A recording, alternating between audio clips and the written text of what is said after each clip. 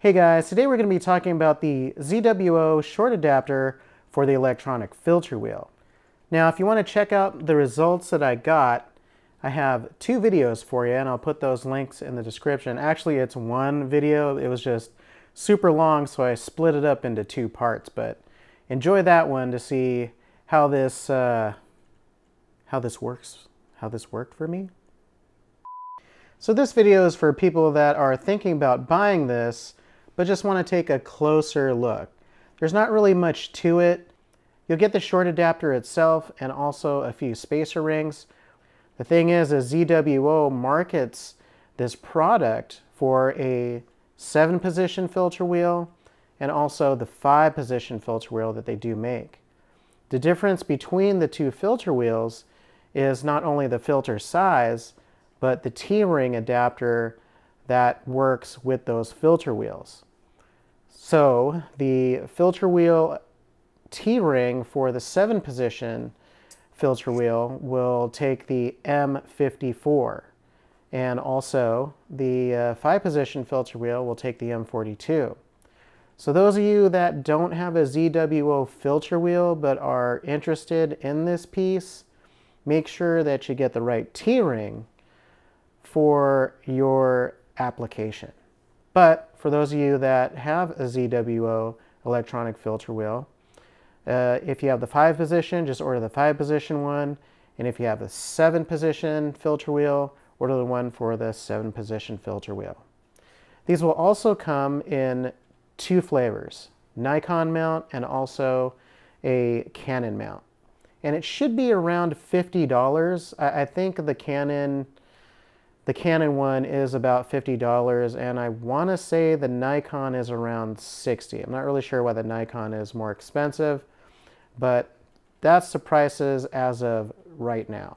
And I'll put those links in the description so you guys can kind of check that out. My biggest concern with buying an adapter like this is how well the lens fits on it. I've had a few adapters that adapted a lens to other things and they always kind of fit really loose. And I wasn't really comfortable with using something like that because it's my lens, you know, I spent quite a bit of money on the lens and I don't want it falling off.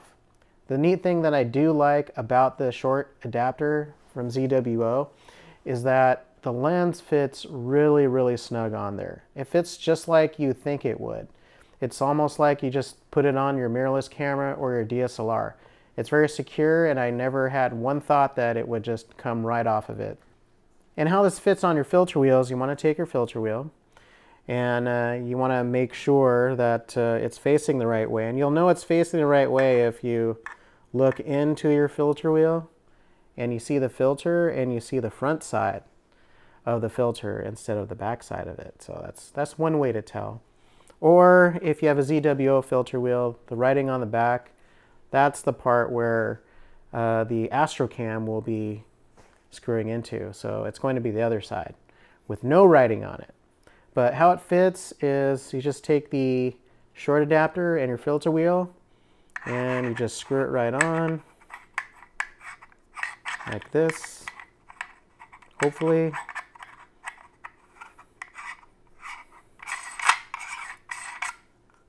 It just fits on like this. And then you want to take your lens and you just want to put it right on there just like you would on your DSLR.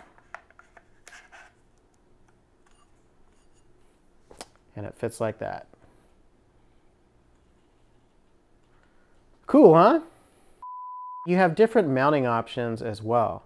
For an additional cost, of course, you can get the ZWO camera rings, and these are just the rings that ZWO makes to go around your Astro camera.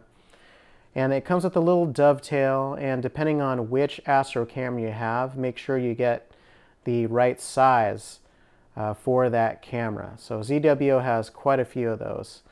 And I think they're about $49. Um, so this whole setup, if you don't have rings that already fit around your Astro camera, and the short adapter, this whole setup could cost you maybe $100. The one thing you want to keep in mind is if you are using the ZWO dew heater, those camera rings don't really work very well.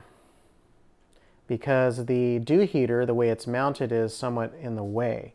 One thing I didn't like about those rings, or actually I should say the dew heater, the rings worked fine, is the dew heater is kind of an afterthought.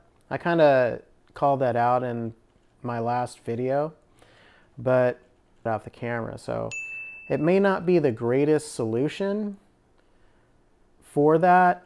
Uh, what I ended up doing is using one of the camera ring or the telescope mounting rings from my Zenithstar Z73 and its dovetail, and that worked out a lot better.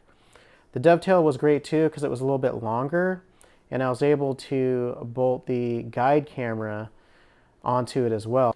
Now you wouldn't think that I would need guiding shooting at f2.8 or f2, but the thing was is I was shooting really deep exposures that night and I was doing three minute subs. So just to make sure that I got everything in focus, I used a, I, I actually used a guide, guide scope and camera for that. And I'm glad I did because that picture I took actually turned out really well.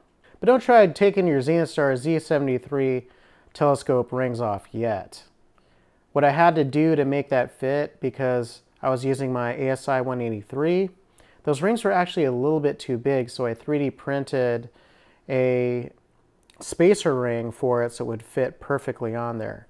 But I'll tell you what, the dew heater ring um, didn't get in the way at all. I had enough space to put it into the telescope's rings and it mounted right up. So I think that's actually a better solution is to get, or if you have a 3D printer, I should say, to get telescope rings that are slightly bigger than the camera and then printing out a uh, spacer ring for your camera. For me, that was the better solution for this. Well, like I said, guys, this was going to be a short video. I just wanted to follow up on those two videos. And I guess I'll see you on the next one. All right. Peace.